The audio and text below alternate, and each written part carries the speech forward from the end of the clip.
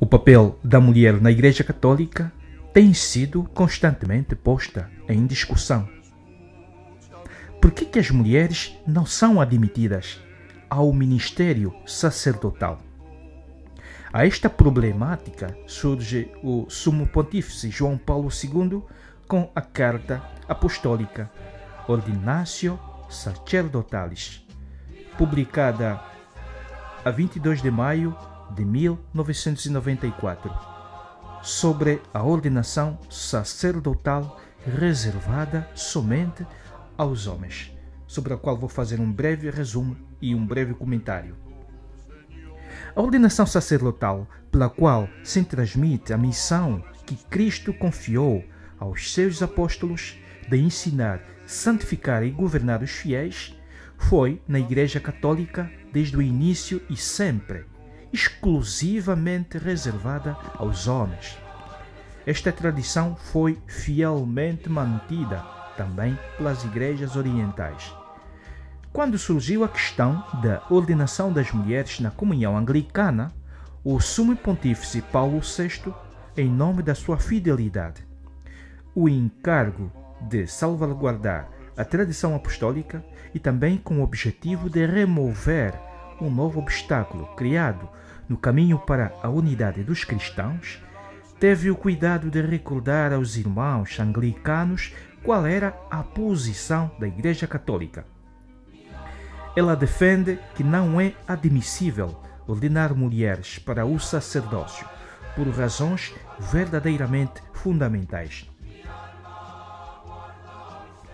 Estas razões compreendem o exemplo registrado na Sagrada Escritura de Cristo que escolheu os seus apóstolos somente que escolheu os seus apóstolos só dentre os homens. A prática constante da Igreja, que imitou Cristo ao escolher só homens. E o seu magistério vivo, o qual coerentemente estabeleceu que a exclusão das mulheres do sacerdócio está em harmonia com o plano de Deus para a sua Igreja. Mas, dado que também entre teólogos e em certos ambientes católicos o problema fora posto em discussão, Paulo VI deu à congregação para a doutrina da fé mandato de expor e ilustrar este propósito a doutrina da Igreja. Isso mesmo foi realizado pela Declaração Inter ex Signores, que o mesmo Sumo Pontífice aprovou e ordenou publicar. A declaração retoma e explica, e explica as razões fundamentais de tal doutrina expostas por Paulo VI, concluindo que a Igreja não se considera autorizada a admitir as mulheres à ordenação sacerdotal, até as razões fundamentais, o mesmo documento junta outras razões teológicas que ilustram a conveniência daquela disposição divina e mostra claramente como o modo de agir de Cristo não fora ditado por motivos sociológicos ou culturais próprios do seu tempo. Como sucessivamente precisou o Papa Paulo VI, a verdadeira razão é que Cristo, ao dar à Igreja a, a sua fundamental constituição, a sua antropologia teológica, depois sempre seguida pela tradição da mesma Igreja. Assim o estabeleceu. Na Carta Apostólica Mulheres Dignitatem, eu mesmo escrevi a este respeito, diz Paulo VI. Chamando só homens como seus apóstolos, Cristo agiu de maneira totalmente livre e soberana. Fez isto com a mesma liberdade com que, em todo o seu comportamento, pôs em destaque a dignidade e a vocação da mulher, sem se conformar ao costume dominante e à tradição sancionada também pela legis legislação do tempo. De facto, os evangelhos e os atos dos apóstolos atestam que este chamamento foi feito segundo o eterno desígnio de Deus Cristo escolheu os que ele quis. Conferir Mateus 3, 13 a 14. E fê-lo em união com o Pai, pelo Espírito Santo, depois de passar a noite em oração. Portanto, a admissão, a admissão ao sacerdócio ministerial, a Igreja sempre reconheceu como norma perene o modo de agir do seu Senhor na escolha dos doze homens que ele colocou como fundamento da sua Igreja. Eles, na verdade, não receberam apenas uma função que poderia depois ser exercida por, qual, por qualquer membro da Igreja, mas foram especial e intimamente associados à missão do próprio Verbo encarnado. O mesmo fizeram os apóstolos quando escolheram os seus colaboradores que sucederiam que lhes sucederiam no ministério. Nessa escolha estavam incluídos também aqueles que, ao longo da história da Igreja, haveriam de prosseguir a missão dos apóstolos de representar Cristo Senhor e Redentor. De resto, o facto de Maria Santíssima, Mãe de Deus e Mãe da Igreja, não ter recebido a missão própria dos apóstolos, nem o sacerdócio ministerial, mostra claramente que, que a não admissão das mulheres à ordenação sacerdotal não pode significar uma, não, uma sua menor dignidade, nenhuma discriminação a seu respeito, mas a observância fiel de uma disposição que se deve atribuir à sabedoria do Senhor do universo.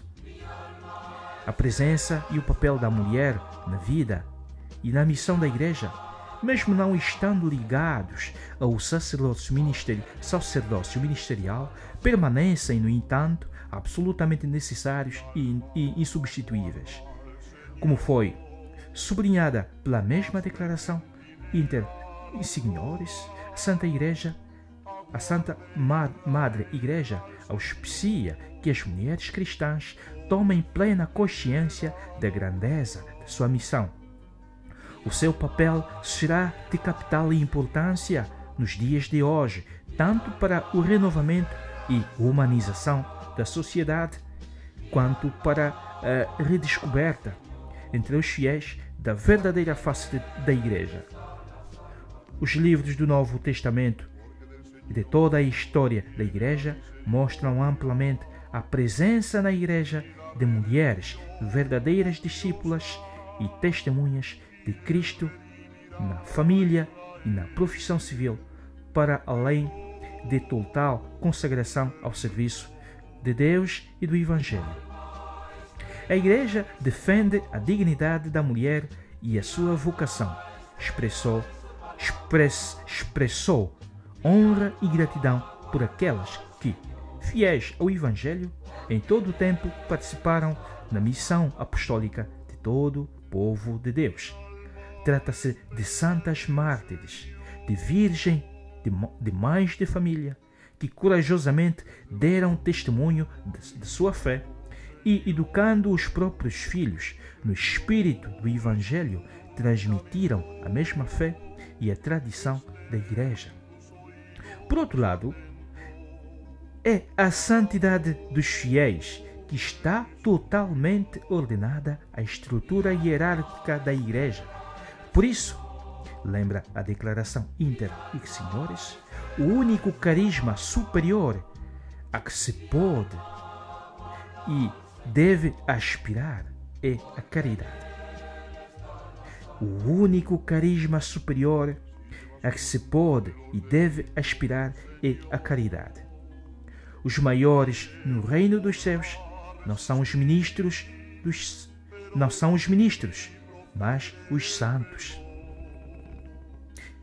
Entretanto, embora a doutrina sobre a ordenação sacerdotal, que deve, que deve, que deve reservar-se somente aos homens, se mantenha na tradição constante e universal da Igreja e seja firmemente ensinada pelo magistério nos documentos mais recentes, todavia, atualmente em diversos lugares continua-se a retê-la como discutível ao atribuir-se e ou atribui-se um valor meramente disciplinar à decisão da Igreja de não admitir as mulheres à ordenação sacerdotal.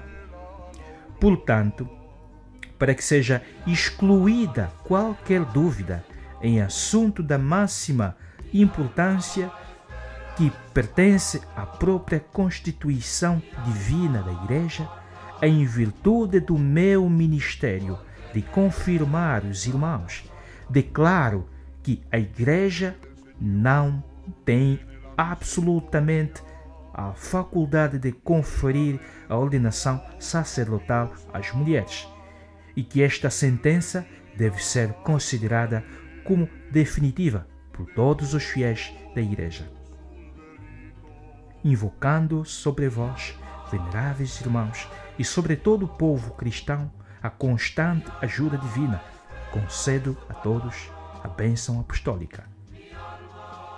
Vaticano, 22 de maio, solenidade de Pentecostes do ano de 1994, 16 de pontificado.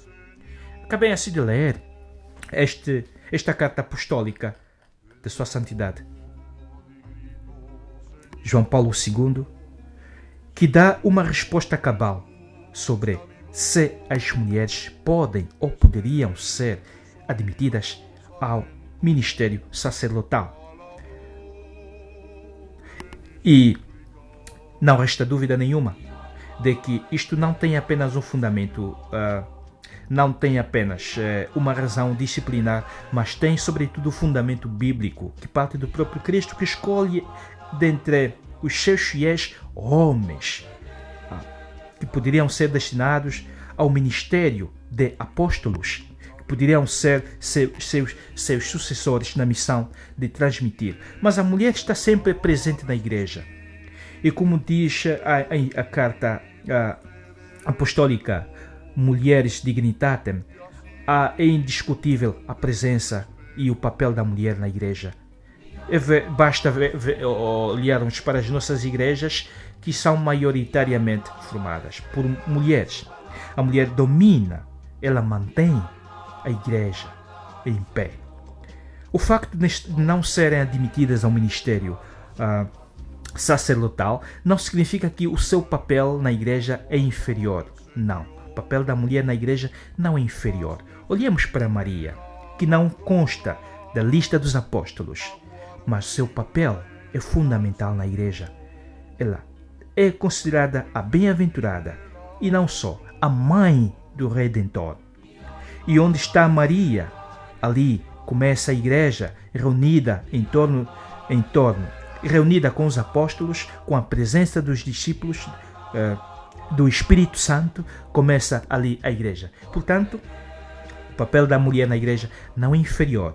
Não é o sacerdócio que nos dignifica, mas sim a nossa aspiração, a vivência da caridade, a prática da caridade, mas sim a nossa vivência, a nossa inspiração, a nossa vocação fundamental. A nossa vocação fundamental é sermos santos. É isto aqui, é a isto que fomos chamados, é a isto que deve nos é isto que deve nos preocupar, sermos santos.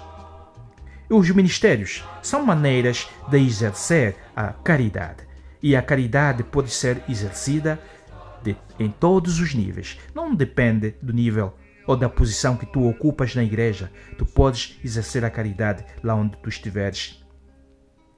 E por isso, estejamos descansados que isto não é um problema. Isto é apenas uma maneira de seguir as próprias orientações do próprio Criador, do próprio fundador da igreja, Jesus, que estabeleceu pedras vivas para a sua igreja. Eu fico por aqui com este tema e eu conto convosco na próxima. Não se esqueça de deixar, não se esqueça de deixar o seu like e subscrever se ainda não o fez e partilhar.